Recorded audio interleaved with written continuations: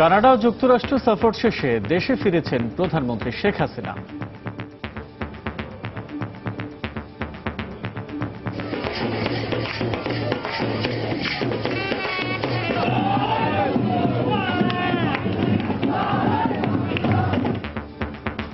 বিমানবন্দর থেকে গণভবন পর্যন্ত আওয়ামী লীগের গণসংবর্ধনায় জনতার ঢল। মাননীয় বাংলাদেশের জন্য গৌরবের খবর বয়ে নিয়ে এসেছেন। আমরা সেই আনন্দে আমরা সেই তাকে সংবর্ধনা দেওয়ার জন্য আমরা এখানে সমবেত হয়েছি। আন্তর্জাতিকভাবে সে সম্মান ওরা একার নয় সমগ্র জাতি। দেখছিলেন প্রধান শিরোনাম। রাত এগারোটার সময়ের সঙ্গে আছে আমি আসাদ আজিম। এবং আমি পারমিতা হিম। এবার অন্যান্য শীর্ষ সংবাদ। কন্টেইনার পরিবহনকারীদের ধর্মঘট চৌঠা অক্টোবর পর্যন্ত স্থগিত। সচল হতে শুরু করেছে চট্টগ্রাম বন্দর। ধর্মঘটে অর্থনীতির ব্যাপক ক্ষতি। খুব শিগগিরই দেশের কম মাদ্রাসাগুলোকে স্বীকৃতি দেবে সরকার জানালেন স্বরাষ্ট্রমন্ত্রী। তরুণদের সঠিক ধর্মীয় শিক্ষা দেওয়ার আহ্বান। ময়মনসিংহের গৌরীপুরে ট্রাক পিকআপ ভ্যানের মুখোমুখি সংঘর্ষে এক পুলিশ কনস্টেবল সহ ছয়জন নিহত আহত তিন। ঢাকা বিশ্ববিদ্যালয়ের গ ইউনিটের অসম্পূর্ণ প্রশ্নপত্রে শিক্ষার্থীদের ক্ষোভ। উদ্বিগ্ন অভিভাবকরা অনুষদের ডিন ছাপার ভুল বলে উড়িয়ে দিলেও ভাবমূর্তি নিয়ে প্রশ্ন শিক্ষাবিদদের। শ্রী ভগবতী মহামায়া তুমি ত্রিগুণাত্মিকা। শুভ মহালয়ায় শঙ্খের ধ্বনি আর চণ্ডী পাঠের মধ্য দিয়ে দেবী দুর্গাকে মর্তে আবাহন ভক্তদের। দশমীতে রাত নটার মধ্যে প্রতিমা বিসর্জনের আহ্বান পূজা উদযাপন পরিষদের।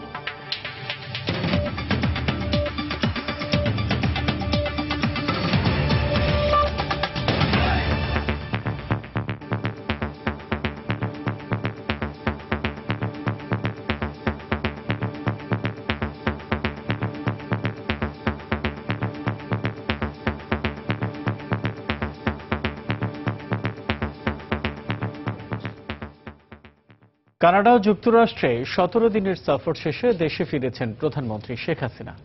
সন্ধ্যা পৌনে ছয়টায় প্রধানমন্ত্রীকে বহন করা বিমান শাহজালাল আন্তর্জাতিক বিমানবন্দরে অবতরণ করে। প্রধানমন্ত্রীকে সংবর্ধনা জানাতে জনতার ঢল নামে বিমানবন্দর এলাকা থেকে গণভবন পর্যন্ত। এ সময় জাতিসংঘ থেকে দেয়া প্রধানমন্ত্রীর পদক প্রাপ্তি শুধু দলের জন্য নয়, দেশের জন্য অনন্য সম্মান ও গৌরব বয়ে এনেছে বলে মন্তব্য করেন দলের নেতাকর্মীরা। বিদেশে সতেরো দিনের সফর শেষে শুক্রবার সন্ধ্যা ছটা পঞ্চাশ মিনিটে বঙ্গবন্ধু কন্যা প্রধানমন্ত্রী শেখ হাসিনা পা রাখেন ঢাকার মাটিতে। এ সময় প্রধানমন্ত্রীকে স্বাগত জানিয়ে ফুল দিয়ে উষ্ণ শুভেচ্ছা জানান সংসদ উপনেতা সৈয়দা সাজেদা চৌধুরী। উপস্থিত ছিলেন দলের সিনিয়র নেতা ও মন্ত্রী পরিষদের বেশ কজন সদস্য। এরপর বিমানবন্দর থেকে প্রধানমন্ত্রীর গাড়িবহর রওনা হয় তার বাসভবন গণভবনের পথে। পুরো পথে সমবেত হাজারো নেতাকর্মী ও সাধারণ মানুষ হাত নেড়ে আর স্লোগানে অভ্যর্থনা জানায় শেখ হাসিনাকে। বঙ্গবন্ধু যে কাজগুলি সমাপ্ত করতে না পারছে, সেই কাজগুলি জাতির জন্য করে কন্যার জন্য শেখ হাসিনার নেতৃত্বে এই দেশ সাফল্য হবে। বিশ্বের দরবারে একটি বাংলাদেশ সারা বিশ্বের দরবারে একটি প্রতিষ্ঠা হবে। শেখ হাসিনার আনন্দের জন্য আমরা এখানে আসছি। বিদেশ থেকে আসছে তার জন্য আমি আসছি। পরিবর্তনের মানুষ কন্যায় ভূষিত করেছে এটা সমস্ত বাঙালি জাতির অর্জন। রাষ্ট্র পরিচালনায় বহুমাত্রিক অবদানের স্বীকৃতি স্বরূপ এবারের সফরে প্ল্যানেট ফিফটি ফিফটি চ্যাম্পিয়ন এবং নারীর ক্ষমতায়নে শেখ হাসিনা ভূষিত হন এজেন্ট অব চেঞ্জ অ্যাওয়ার্ডে এই প্রাপ্তিকে পুরো জাতির জন্য সম্মান ও গৌরবের বলে মনে করেন দলের নেতাকর্মীরা। আজকে যে সম্মান দুই দুইটি সম্মান তিনি পেয়েছেন আন্তর্জাতিকভাবে সে সম্মান ওরা একার নয় সমগ্র জাতির বঙ্গবন্ধুর সৃষ্ট এই বাংলাদেশের সম্মান তিনি বয়ে এনেছেন। যে লক্ষ্য নিয়ে বাংলাদেশ স্বাধীন হয়েছিল স্বাধীন সার্বভৌম বাংলাদেশ হবে আইনের শাসনের গণতান্ত্রিক বাংলাদেশ সেটা তিনি সুপ্রতিষ্ঠিত করছেন। তাই তাকে স্বাগত জানাতে অভিনন্দন জানাতে আজ আমরা আইনজীবীরা উপস্থিত হয়েছি। বর্ণাঢ্য সড়ক সংবর্ধনায় সিক্ত প্রধানমন্ত্রী গণভবনে পৌঁছালে সেখানে তাকে গানের মূর্ছনায় শুভেচ্ছা জানান সংস্কৃতি অঙ্গনের দেশবরেণ্য কৃতিজনরা। উপস্থিত ছিলেন দলের নেতা বিশিষ্টজন ও প্রধানমন্ত্রীর কার্যালয়ের ঊর্ধ্বতন কর্মকর্তারা।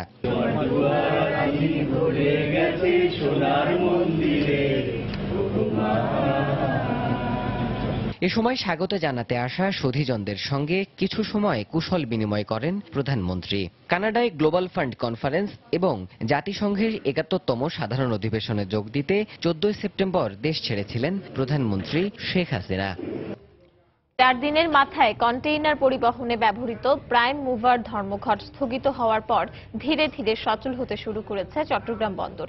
দুপুরে সমঝোতা বৈঠকের পর বন্দর থেকে কন্টেইনার ডেলিভারি শুরু হয়। পাশাপাশি চলছে জাহাজীকরণও। তবে ধর্মঘট স্থগিত হলেও পরিস্থিতি সামাল দিতে বন্দরকে চরম ভোগান্তি পোহাতে হবে বলে জানিয়েছেন বন্দর ব্যবহারকারীরা। আরও জানাচ্ছেন কমল দে। মেঘনা ও গোমতী সেতু থেকে স্কেলিং সিস্টেম তুলে দেওয়া সহ সাত দফা দাবিতে প্রাইম মুভার মালিক চালক ঐক্য পরিষদের ডাকা চার দিনের ধর্মঘটে চট্টগ্রাম বন্দরে অচলাবস্থার সৃষ্টি হয়। বৃহস্পতিবার জেলা প্রশাসকের সাথে আন্দোলনকারীদের দুই দফা বৈঠক হলো, ধর্মঘট প্রত্যাহার হয়নি। শেষ পর্যন্ত শুক্রবার সকালে নাসিরাবাদের নিজ বাসায় আন্দোলনরত সংগঠনের নেতাদের সঙ্গে বৈঠক করেন পুলিশ কমিশনার ইকবাল বাহার। প্রায় দেড় ঘণ্টাব্যাপী বৈঠক শেষে আগামী চার অক্টোবর পর্যন্ত ধর্মঘট স্থগিত রাখার সিদ্ধান্ত নেয় সংগঠনটি। সাত তারিখে ঢাকাতে যে মিটিং আছে, সেই মিটিংয়ে সুলসেরা আলোচনা হবে।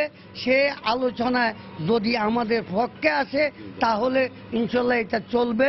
তাদের যে সমস্যার বিষয়গুলো উত্থাপন করেছে, সমস্যাগুলো আমরা অনুধাবন করতে পেরেছি এবং সরকারের কাছে এটি যথাযথভাবে উপস্থাপন করা হবে। সেই আশ্বাস তাদেরকে দিয়েছি। এদিকে গত চার দিনের ধর্মঘটে চট্টগ্রাম বন্দরে ভয়াবহ কন্টেনার জট দেখা দিয়েছে। এতে ধারণ ক্ষমতার অন্তত চার হাজার বেশি কন্টেনার ইয়ার্ডে রাখতে বাধ্য হয় বন্দর কর্তৃপক্ষ। মাল্টি সেক্টরাল স্টেক হোল্ডার এখানে অংশীজন আছে। কেউ একজনও যদি একটু তার তার যে কর্তব্য আছে তার যে দায়িত্ব আছে সেটি থেকে একটু বিরত হলে পরে চট্টগ্রাম বন্দর এর পরিসংখ্যানে গরমিল হয়ে যায়। কন্টেনার আনা নেওয়া বন্ধ থাকায় আটটির বেশি জাহাজ অনেকটা খালি অবস্থায় বন্দর ছেড়ে গেছে। এই অবস্থায় কন্টেনারের উপর অতিরিক্ত চার্জ আরোপের চিন্তা করছে কন্টেনারের মালিক আন্তর্জাতিক শিপিং ব্যবসায়ীরা।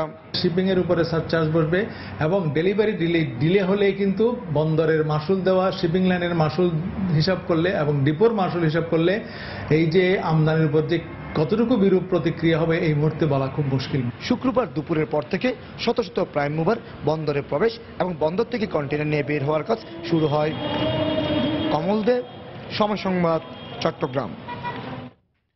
ধর্মঘটে শুধু চট্টগ্রাম বন্দরের কন্টেনার চট নয়, দেশের সার্বিক আমদানি, রফতানি, বাণিজ্যেও এর বিরূপ প্রভাব পড়তে শুরু করেছে। সময় মতো পণ্য রফতানি করতে না পারায় তৈরি পোশাকের অর্ডার বাতিলের শঙ্কা দেখা দিয়েছে। বিস্তারিত জানাচ্ছেন হাজারা শৌলী দেশের সিংহভাগ পণ্য আমদানি রপ্তানি হয় চট্টগ্রাম বন্দর দিয়ে। আর প্রধান রপ্তানি পণ্য তৈরি পোশাক, বেসরকারি আইসিডিগুলো থেকে কন্টেনারে ভরে প্রায় মুভারে করে নেওয়া হয় চট্টগ্রাম বন্দরে। গার্মেন্টস পণ্য রপ্তানিতে প্রতিটি দিন যেখানে গুরুত্বপূর্ণ, সেখানে প্রায় মুভার ধর্মঘটে গত চার দিন কোনো পণ্য শিপমেন্ট না হওয়ায় ব্যাপক ক্ষতির মুখে পড়েছে পোশাক শিল্প মালিকরা। আমার জন্য তো একটা মিনিট অনেক ইম্পর্টেন্ট মিনিট সো এখানে তো হাজার হাজার কোটি টাকা লস হবে। এই কস্ট সরকারের বিয়ার করতে হবে, অথবা যারা এর পিছনে দায়ী তাদেরকে তাদের কাছ থেকে আমাদেরকে আদায় করে দিতে হবে। এদিকে আইসিডিতে বিপুল পরিমাণ রপ্তানি পণ্য আটকা পড়ায় এসব পণ্যের শিপমেন্টে ব্যাপক চাপে পড়েছে পণ্য পরিবহনের সাথে যুক্ত ফ্রেড ফরওয়ার্ডাররা এখনকার যে শিপমেন্টের যে চাপটা এটা কাটায় উঠতে একটা দীর্ঘদিন সময় লেগে যাবে। বন্দরের যে ক্যাপাসিটি অলরেডি তার উপরে অতিরিক্ত প্রেসার আমরা দেখতে পাচ্ছি। নতুন করে যে জাহাজগুলো আসতেছে, সেই কন্টেনারগুলো যখন বন্দরে আপনার ডিসচার্জিং হবে, সেগুলোর আবার নতুন করে আরেকটা প্রেশার বৃহস্পতিবার এক প্রেস বিজ্ঞপ্তিতে এফবিসিসিআই জানায়, চার দিনের ধর্মঘটে কমপক্ষে দুইশো কোটি টাকার ক্ষতি হয়েছে। হাজারি শিউলি, সময় সংবাদ, ঢাকা। স্বরাষ্ট্রমন্ত্রী আসাদুজ্জামান খান কামাল বলেছেন, খুব শিগগিরই দেশের কওমি মাদ্রাসাগুলোকে স্বীকৃতি দেবে সরকার। সকালে রাজধানীর রমনায় ইঞ্জিনিয়ার্স ইনস্টিটিউটে সন্ত্রাস ও জঙ্গি দমন উপলক্ষে আয়োজিত আলেম ওলামা সমাবেশে তিনি কথা বলেন। অনুষ্ঠানে খাদ্যমন্ত্রী অ্যাডভোকেট কামরুল ইসলাম বলেন, দেশের কওমি মাদ্রাসাগুলো জঙ্গি তৈরির কারখানা নয়, তাই ঢালাওভাবে কওমি মাদ্রাসাকে দোষারোপ করা যাবে না। দুই একটা হয়তো মাদ্রাসা খারাপ থাকতে পারে। কিন্তু ঢালাওভাবে কমি মাদ্রাসার আপনি দৌড় দিলেন, অসম্ভব, প্রশ্নই উঠে না। কমি মাদ্রাসা কোনো সময় জঙ্গি তৈরির কারখানা না। সন্তানদের মানুষ করতে সত্যিকার অর্থে কেবলমাত্র ইংরেজি শিক্ষায় শিক্ষিত করতে, বড় বড় বড় বড় স্কুলে, বড় বড় ইংরেজি স্কুলে বা ইউনিভার্সিটিতে পড়ালেই চলবে না। ঘরে অন্তত প্রাথমিক ইসলামের শিক্ষায় শিক্ষিত প্রত্যেককে করতে হবে। এটার স্বীকৃতি আমাদের মাননীয় প্রধানমন্ত্রী দিতে চাচ্ছে এবং খুব শীঘ্রই দিয়েও দিবেন কিন্তু আপনাদেরকে আহ্বান করেছেন যে আপনারা এক হয়ে কথা বলেন এক হয়ে আপনারা কি করতে চান সেটা বলেন। আপনাদের যে দাবি প্রাণের দাবি আপনাদের কৌমি মাদ্রাসার সনদের স্বীকৃতি সেটা উনি দিবেন। রাত এগারোটার সময় আরও থাকছে। রাজধানীতে সিটি কর্পোরেশনের গাড়ি চাপায় মারা গেলেন বিজিবি সদস্য। পূর্ব গোরান এলাকা থেকে এক হোটেল ব্যবসায়ীর লাশ উদ্ধার।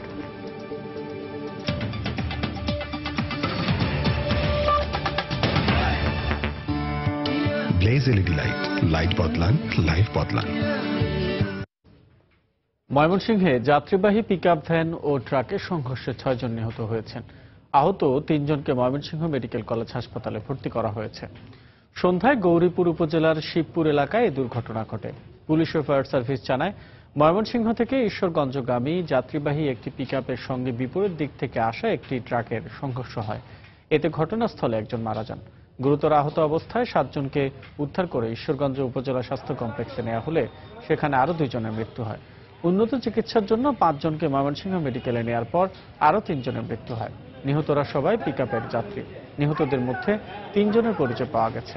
এরা হলেন কিশোরগঞ্জ জেলার করিমগঞ্জ থানায় পুলিশ কনস্টেবল মনিরুজ্জামান, তার বাড়ি ময়মনসিংহের মুক্তাগাছায় অন্য দুজন হলেন পিকআপের মালিক শহীদুল ইসলাম ও চালক নুরুল ইসলাম। এদের বাড়ি কিশোরগঞ্জ সদরের গাইটাইল এলাকায়।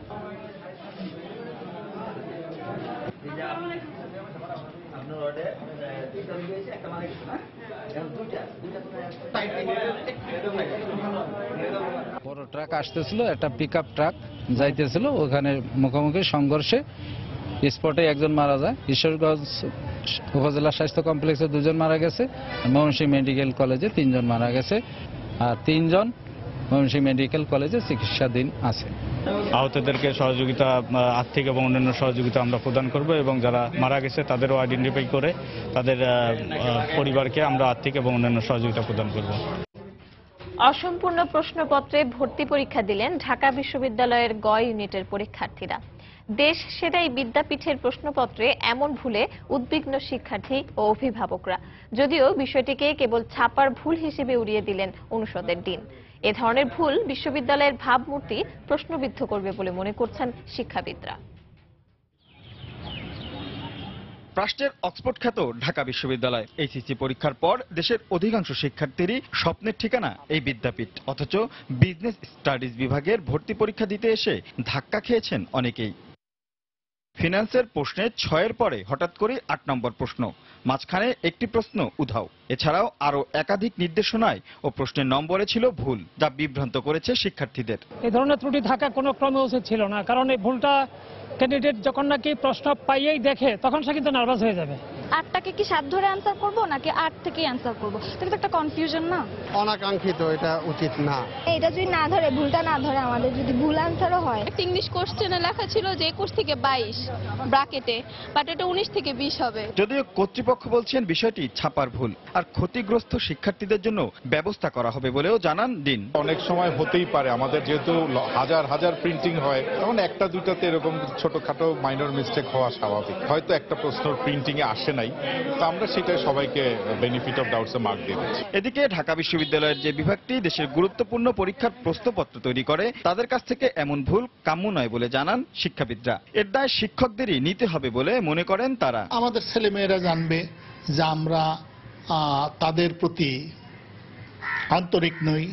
আমরা একটা ভর্তি পরীক্ষা যথাযথভাবে গ্রহণ করতে পারি না। সুতরাং তাদের মধ্যে অবিশ্বাস জন্মাবে, আস্থাহীনতা জন্মাবে এবং ছেলেমেয়েরা যদি এরকম আস্থাহীনতার মধ্যে বড় হয়, তাহলে তারা কখনো সুনাগরিক হতে পারে না। এবারে গ ইউনিটে এক হাজার দুশো পঞ্চাশটি আসনের জন্য ভর্তি ইচ্ছুক আবেদনকারীর সংখ্যা বিয়াল্লিশ হাজার একশো সাতচল্লিশ জন। প্রতি আসনের জন্য লড়ছে তেত্রিশ জন শিক্ষার্থী। রাশেদ লিমন, সময় সংবাদ, ঢাকা।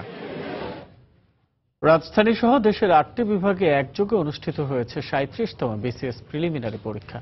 রাজধানীর একশো তেইশটি সহ আটটি বিভাগের একশো নব্বইটি কেন্দ্রে সকাল সাড়ে নটায় শুরু হয়ে পরীক্ষা সাড়ে এগারোটায় শেষ হয়। পাবলিক সার্ভিস কমিশনের বিজ্ঞপ্তি অনুযায়ী পরীক্ষার হলে সব ধরনের ইলেকট্রনিক্স ডিভাইস, বই পুস্তক, ক্যালকুলেটর ছাড়াই পরীক্ষার হলে প্রবেশ করেন পরীক্ষার্থীরা। পরীক্ষা শেষে কোনো অভিযোগের কথা শোনা যায়নি। পরীক্ষার প্রশ্নপত্র মানসম্পন্ন হলেও বাংলা সাহিত্যের অংশ বেশ কঠিন হয়েছে বলে জানিয়েছেন বেশিরভাগ পরীক্ষার্থী। এবছর পিএসসির অধীনে সাধারণ ক্যাডারে চারশো পঁয়ষট্টিটি পদ সহ এক হাজার দুশো ছাব্বিশটি শূন্য আসনের বিপরীতে দু লাখ তেতাল্লিশ হাজার চারশো ছিয়াত্তর জন পরীক্ষার্থী আবেদন করেন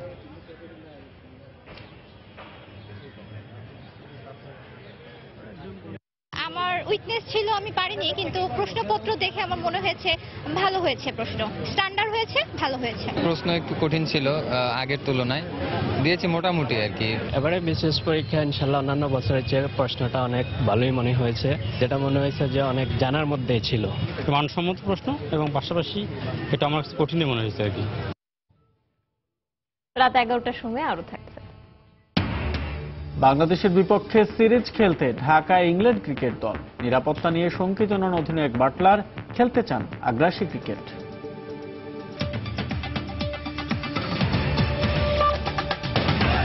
শারদীয় দুর্গাপূজায় এগারো অক্টোবর সন্ধ্যার মধ্যে শোভাযাত্রা ও রাত নটার মধ্যে প্রতিমা বিসর্জন শেষ করতে দেশের সব পূজা মণ্ডপের প্রতি আহ্বান জানিয়েছে বাংলাদেশ পূজা উদযাপন পরিষদ।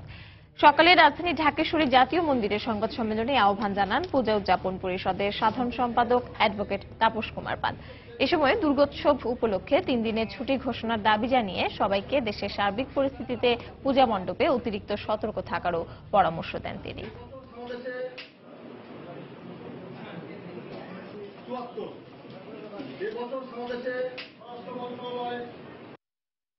আমরা যথা নিয়মে এগারোই অক্টোবর বিজয়া শোভাযাত্রা সহকারে প্রতিমা বিসর্জনের সিদ্ধান্ত নিয়েছি।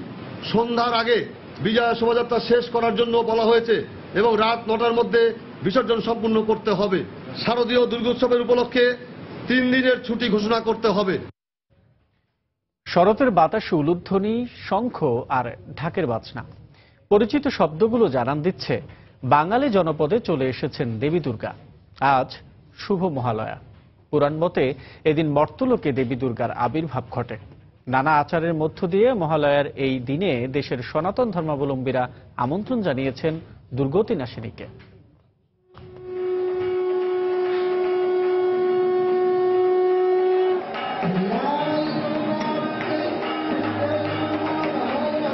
ভোরের আলো ফোটার পরেই চণ্ডীপাঠ। প্রতি বছর আশ্বিন মাসের শুক্লা পক্ষে দুর্গতি নাসিনীকে মর্তালোকে আমন্ত্রণ জানানো হয়।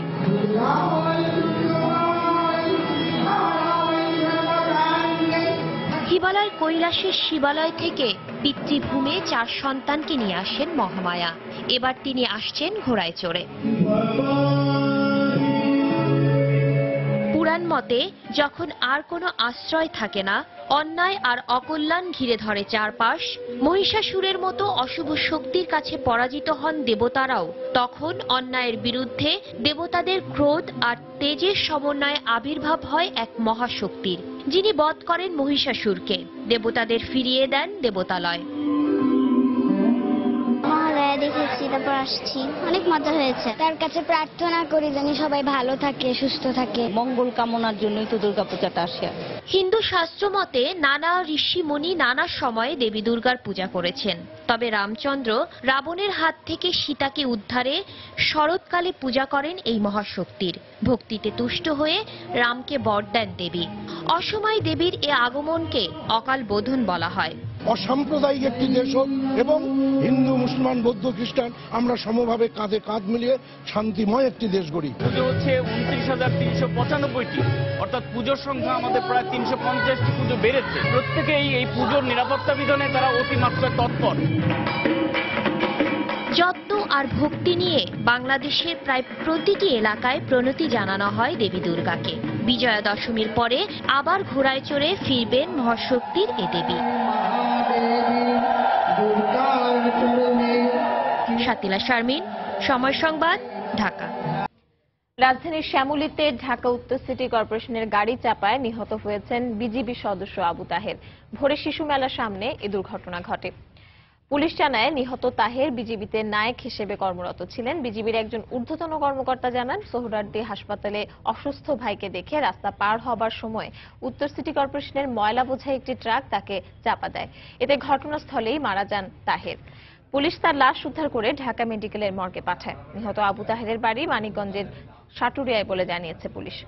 অন্যদিকে রাজধানীর পূর্ব গোরান এলাকা থেকে জয়নাল নামের এক হোটেল ব্যবসায়ীর লাশ উদ্ধার করেছে পুলিশ। বৃহস্পতিবার রাত থেকেই তাকে খুঁজে পাওয়া যাচ্ছিল না বলে জানিয়েছে পরিবার। নিহতের শরীরে আঘাতের চিহ্ন রয়েছে বলে দাবি স্বজনদের।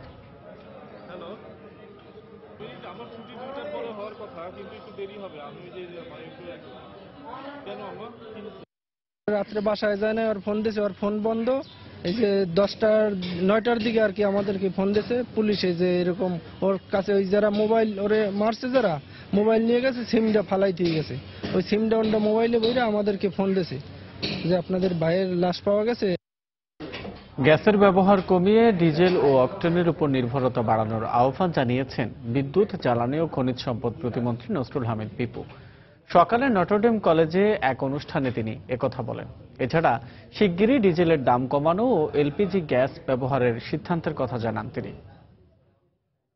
আমরা গ্যাসের ব্যবহারটা কমিয়ে আনতে চাই, এক। আর দ্বিতীয় কথা হলো তেল এবং অকটেন যেটা আমাদের বাংলাদেশে তৈরি হচ্ছে, অতিরিক্ত মজুদ হয়ে যাচ্ছে, সেটার ব্যবহারটা আমরা বাড়াতে চাই। অকটিন কেন বাড়াতে চাই? অকটিন যেটা আমরা লিড ফ্রি লেড ফ্রি আর কি আনলিডেড অকটিন, এটার ব্যবহারটা আমরা বাড়াতে চাই, এটা পরিবেশের জন্যও ভালো।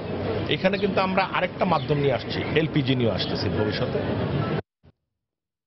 রামপালে বিদ্যুৎ কেন্দ্র বাতিলের দাবিতে ফেসবুকের ইভেন্ট ভিত্তিক একটি গ্রুপের সাইকেল র্যালিতে বাধা দিয়েছে তরুণ সংঘ নামের অপর একটি সংগঠন। সকালে রামপাল বিদ্যুৎ কেন্দ্রের বিরোধিতা করে শহীদ মিনার থেকে সাইকেল র্যালি বের করতে চাইলে তরুণ সংঘের কর্মীদের সঙ্গে বাক বিতণ্ডা ও ধাক্কাধাক্কি হয় র্যালির আয়োজকদের। এক পর্যায়ে তারা পিছু হটে কর্মসূচি স্থগিত করে। এদিকে র্যালিতে সমর্থন জানাতে আসা তেল, গ্যাস, খনিজ সম্পদ ও বিদ্যুৎ বন্দর রক্ষা জাতীয় কমিটির সদস্য সচিব অধ্যাপক আনু মোহাম্মদ বলেন, শুধু বাংলাদেশ নয়, পুরো বিশ্ব সুন্দরবন ধ্বংস করে বিদ্যুৎ কেন্দ্র নির্মাণ নিয়ে উদ্বিগ্ন। একদিকে দমন পীড়ন, অন্যদিকে কুৎসা এবং অন্যদিকে বিভিন্ন ধরনের চক্রান্তমূলকভাবে। পুরো আন্দোলনের বিরুদ্ধে একটা একগুয়ে মনোভাব প্রকাশ করছে সরকার। সরকারের একগুয়েমিতে যেটা হচ্ছে, এটা ক্ষতি হচ্ছে সুন্দরবনের, ক্ষতি হচ্ছে বাংলাদেশের এবং বিশ্বব্যাপী সরকারেরও ভাবমূর্তি ক্ষুণ্ণ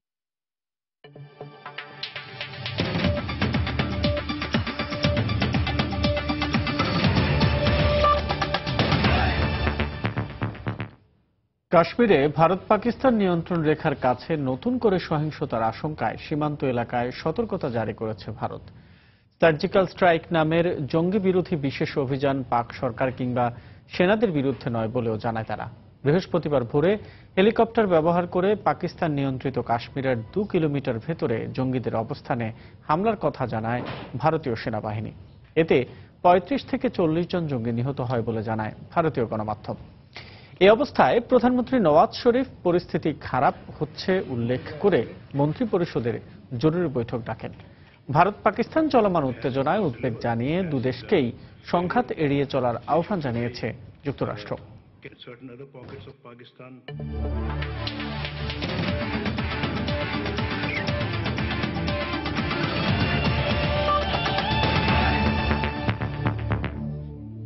পূর্ব নির্ধারিত সময় অনুযায়ী বাংলাদেশে এসেছে ইংল্যান্ড জাতীয় ক্রিকেট দল।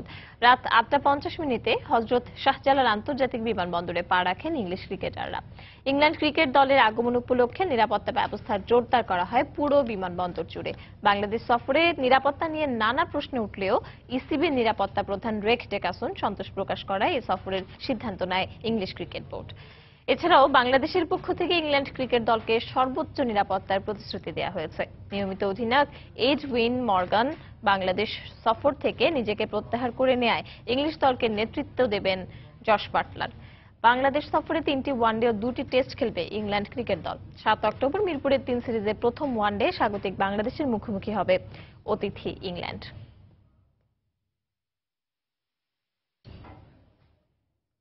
প্রস্তুতিমূলক সিরিজ হয়ে দাঁড়াল অগ্নি পরীক্ষার। সিরিজ নির্ধারণী ম্যাচে শনিবার মাঠে নামবে বাংলাদেশ ও আফগানিস্তান। দ্বিতীয় ম্যাচে যোগ্য দল হিসেবে আফগানিস্তান জয় পেয়েছে বলে জানিয়েছেন টাইগার অধিনায়ক মাশরাফি তবে শেষ ওয়ানডেতে জয় দিয়েই টানা ষষ্ঠ হোম সিরিজ ও শততম জয় তুলে নিতে প্রতিজ্ঞাবদ্ধ ম্যাশ অন্যদিকে, আগের দুই ম্যাচের ভুল শুধরে আরও ভালো খেলার প্রত্যয় আফগানদের। মিরপুর, শেরেবাংলা জাতীয় ক্রিকেট স্টেডিয়ামে খেলা শুরু দুপুর আড়াইটায়। প্রথম ম্যাচের কষ্টার্জিত জয় আর দ্বিতীয় ম্যাচে দুঃস্বপ্নের হার যেন পুরো দলের শরীরী ভাষাই বদলে দিয়েছে। তৃতীয় ম্যাচের আগে তাই নিশ্চুপ, শীতল অনুশীলন। গুরুগম্ভীর অনুশীলনে সৌম্যতার হারিয়ে যাওয়া ছন্দ খুঁজে ফিরছিলেন ব্যাটে। হাতুরু সিংহে অনেকটা সময় দিলেন এই স্টাইলিশ ব্যাটসম্যানকে। প্রথম দু ম্যাচের অভিজ্ঞতায় আফগান স্পিনারদের সামলাতে নেটে নিয়ে আসা হয়। জুবায়ের হোসেন লিখন সহ তিনজন লেগ স্পিনার। অধিনায়ক মাশরাফি আরও একবার প্রাপ্য স্বীকৃতিটুকু দিতে চাইলেন আফগানদের। যোগ্য দল হিসেবেই দুইটা ম্যাচই খেলেছে এবং একটা ম্যাচ তারা জিতেছে, আমরা একটা ম্যাচ খুব ক্লোজ ছিলাম। সো আমি মনে করি ক্রেডিট তাদের যে তারা ভালো খেলেছে। তৃতীয় ওয়ানডের জন্য একজন বাড়তি স্পিনার মোশাররফ রুবেলকে নিয়ে মাঠে নামবে বাংলাদেশ এটা অনুমেয়ই। সাথে নামতে পারেন শফিউলও তবে মাশরাফি দল নিয়ে সন্তুষ্ট। আমরা লাস্ট এক দেড় বছর যেটা করেছি যেভাবে পজিটিভ ক্রিকেট খেলেছি ওইটাই খেলার চেষ্টা করছি। যদি আফগানিস্তান আমাদের থেকে বেটার খেলে তাহলে অবশ্যই ওইটাও তাদের দিন হতে পারে। কিন্তু আমি মনে করি কনফিডেন্টলি নেমে কনফিডেন্টলি খেলাটাই বেটার আফগানরা বাংলাদেশের বিপক্ষে খেলেছে চারটি ওয়ানডে এর মধ্যে দুটি জয় ও দুই হার নিয়ে সমতায় যুদ্ধ বিধ্বস্ত দেশটি। হারানোর কিছু নেই আর যা কিছু পাবার সুযোগ আছে সেটুকু কুড়িয়ে নিতে চান হাসমতুল্লাহ শহীদি বাংলাদেশ ইন্ডিয়ার হোম। বাংলাদেশ নিজেদের কন্ডিশনে অপ্রতিরোধ তবুও আমরা যে লড়াই করছি এটাই আমাদের পাওয়া। আগের দুই ম্যাচে আমরা ভালো খেলেছি তবুও কিছু খুঁত ছিল। অবশ্যই সিরিজ জয়ের সুযোগ আছে এবং আমরা সেটা কাজে লাগানোর চেষ্টা করব। অপরিবর্তিত একাদশ নিয়ে মাঠে নামার সম্ভাবনা আফগান আফগানদের গেল দশ মাসে কোনো আন্তর্জাতিক ওয়ানডে না খেলার ছাপ স্পষ্ট ছিল গেল দুই ওয়ানডের পারফরমেন্সে। সামনে রয়েছে দুইটি মাইল ফলক একটি শততম ওয়ানডে জয়ের অন্যটি টানা ছয় সিরিজ জয় নিশ্চিত করা। কিন্তু মুদ্রার উল্টো পিঠে চোখ রাঙাচ্ছে র্যাঙ্কিংয়ের নিম্নমুখী রেটিং পয়েন্ট এবং আফগান জুজু। অলিখিত এই ফাইনালে কি হবে সেটাই দেখার প্রতীক্ষায় গোটা দেশের ক্রিকেট প্রেমীরা। মিরপুরের হোম অফ ক্রিকেট থেকে রায়হান মাসুদ সময় সংবাদ ঢাকা। রাত এগারোটার সময় এ পর্যায়ে শীর্ষ সংবাদ জানিয়ে দিচ্ছে আরও একবার। কানাডা ও যুক্তরাষ্ট্র সফর শেষে দেশে ফিরেছেন প্রধানমন্ত্রী শেখ হাসিনা। বিমানবন্দর থেকে গণভবন পর্যন্ত আওয়ামী লীগের গণসংবর্ধনায় জনতার ঢল কন্টেনার পরিবহনকারীদের ধর্মঘট চৌঠা অক্টোবর পর্যন্ত স্থগিত। সচল হতে শুরু করেছে চট্টগ্রাম বন্দর। ধর্মঘটে অর্থনীতির ব্যাপক ক্ষতি। খুব শিগগিরই দেশের কওমি মাদ্রাসাগুলোকে স্বীকৃতি দেবে সরকার জানালেন স্বরাষ্ট্রমন্ত্রী। তরুণদের সঠিক ধর্মীয় শিক্ষা দেওয়ার আহ্বান। ময়মনসিংহের গৌরীপুরে ট্রাক পিকআপ ভ্যানের মুখোমুখি সংঘর্ষে এক পুলিশ কনস্টেবল সহ ছয়জন নিহত আহত তিন। শ্রী ভগবতী মহামায়া তুমি ত্রিগুণাত্মিকা। শুভ মহালয়ায় শঙ্খের ধ্বনি আর চণ্ডী পাঠের মধ্য দিয়ে দেবী দুর্গাকে মর্তে আবাহন ভক্তদের। দশমীতে রাত নটার মধ্যে প্রতিমা বিসর্জনের আহ্বান পূজা উদযাপন পরিষদে। এই ছিল রাত এগারোটার সময়। যে কোনো খবর পেতে ভিজিট করুন সময় নিউজ সঙ্গে থাকুন সময়।